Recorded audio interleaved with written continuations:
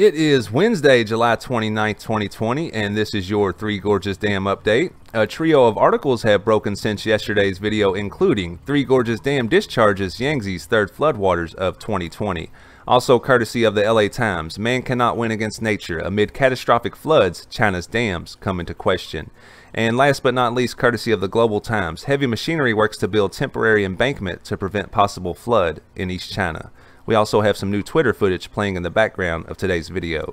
Let's get into it.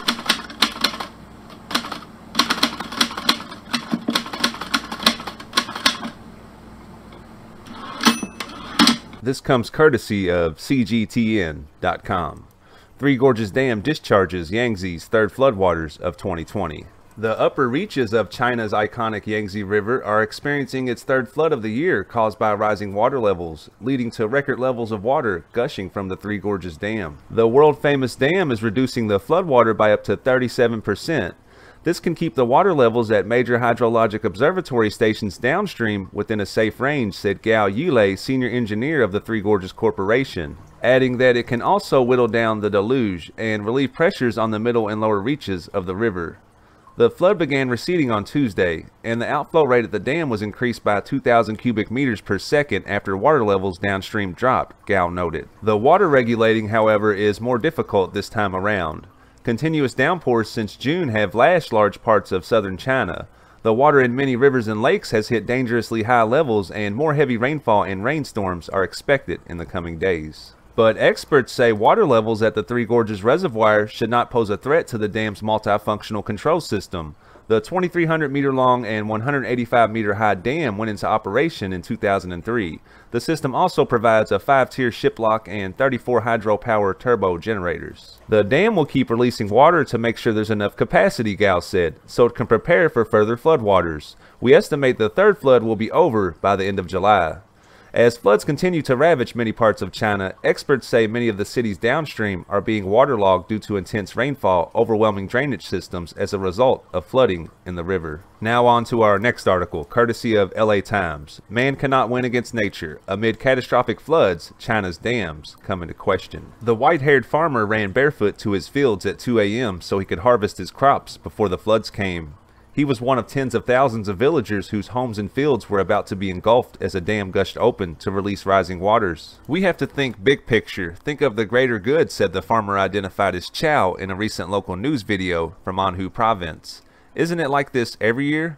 Chow spoke as many rural residents of the Yangtze River floodplains do, accustomed to swelling waters whenever big rains hit. But this year is the worst in decades, with 433 rivers surging above flood control levels since June.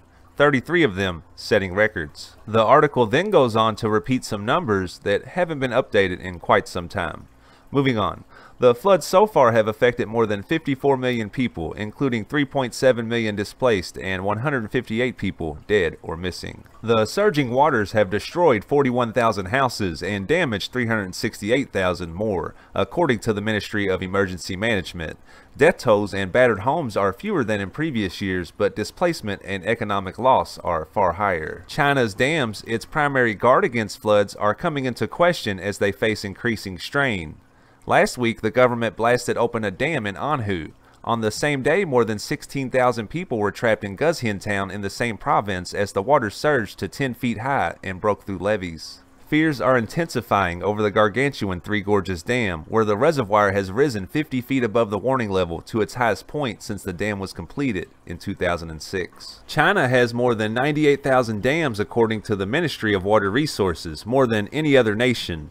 Many were built in the 1950s and 60s and suffer from poor maintenance. These flood control engineering projects are not a panacea, said Ma Jun, director of Beijing-based Institute of Public and Environmental Affairs. With torrential rains, he added, the amount of water concentrated in each reservoir poses a risk of serious damage, even in smaller dams. The heavy storms over the Yangtze River Basin are the result of a western Pacific subtropical high, a pressure system that every summer carries warm air from the south to the north. The system is abnormally strong this year, said Liu Junyan, climate and energy campaigner for Greenpeace East Asia, but it's unclear whether it's caused by climate change. The flooding, however, is directly linked to man-made problems. China's over-reliance on dams, excessive construction in low-lying areas, land reclamation in wetlands and lakes, and cities built with poor drainage systems have all exacerbated flood damage. Those chased from their homes also speak of mismanaged flood systems, lack of government accountability, and unequal treatment of the rural poor, who bear the most of the flood burden. In Shexian, a county that suffered its worst flooding in decades this month when an upstream dam overflowed in the middle of the night, residents said they had been given no warning. None of this can be reused. It's all trash, said Ma Kong, a waste collector who was removing wooden crates, damaged machinery, and soggy mountains of boxed tea at Wei Wei Che, one of the many tea factories whose entire stock had been soaked and spoiled in a matter of minutes. Ma calculated more than $143,000 in damage to his machines and pickup trucks. But his was just a small business, he said. The factories which were paying him a few thousand dollars each to clean up had lost much more.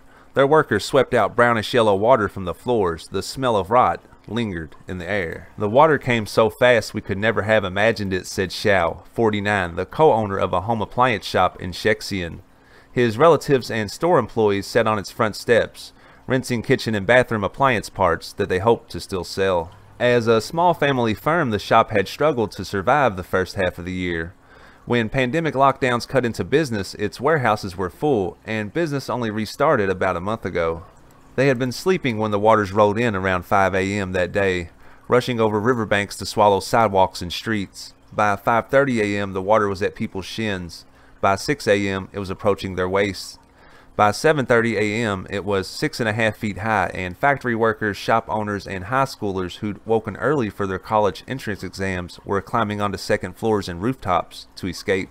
If the government just gave us half a day's warning, I could have saved 14,000 to $28,000 in damage, Xiao said. He lost at least $43,000, he said, and had received no government relief, a maddening if typical setback in this region. Much of the worst damage in this year's floods, said Ma, has come from broken dams or dikes, or from international release of reservoir waters without sufficient warning or protection of people downstream. Yet dams have been a point of pride for the Communist Party. The Three Gorges Dam in particular has been touted by the Chinese government as a symbol of national prestige, despite controversies over the mass displacement, environmental destruction, pollution, landslides, and earthquake risks it has caused.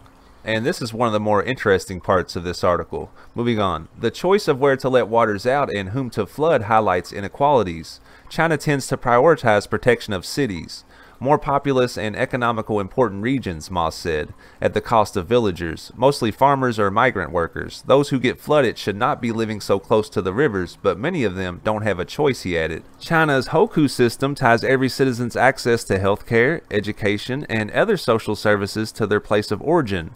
Villagers who move to cities for work cannot truly settle in urban areas and tend to send money back to their hometown. Flooding villages and small towns costs less overall than flooding a city, but it means that those with less cushion for survival are hit the hardest. Some environmentalists and engineers say China should revamp its entire flood control approach. All our urban planning and design has this single-minded concept to speed up the water and flush it out. But we need to do the opposite, said Yu Kongjian, Peking University professor and founder of a landscape architecture firm called Turenscape. Yu studied design at Harvard and returned to China a year before catastrophic flooding along the Yangtze River killed more than 4,000 people in 1998. He spent the next 20 years urging Chinese officials to adopt an ecocentric approach to urbanization. China's cities should be like sponges, not toilets, he said. Water should be slowed down and retained, not flushed away. The way you do that, Yu said, is by restoring riverbanks, wetlands, and lakes, complete with their living sponges of soil and vegetation that can absorb and keep water locally.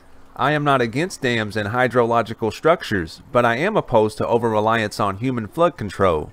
These gray infrastructures that destroy the green and natural system, Yu said. Just like a person, if you stay alive only by relying on a ventilator and injections, you are fragile. What will happen when the machines break? The human will face the risk of death. Cities are the same. Man cannot win against nature, Yu said. Everything man-made is destined to break one day. The ruins of Rome tell us that. And we can only hope that China takes his advice. Thank you for watching this video. If you are finding it informative, please consider giving the channel a subscribe. Now on to our last article, courtesy of Global Times. Heavy machineries work to build temporary embankment to prevent possible floodwater in East China. And this article doesn't contain much text. It's a series of photos showing dozens of construction vehicles building a temporary embankment. Aerial photos taken on July 28, 2020 shows heavy machinery working to build a temporary embankment at Deja Lake.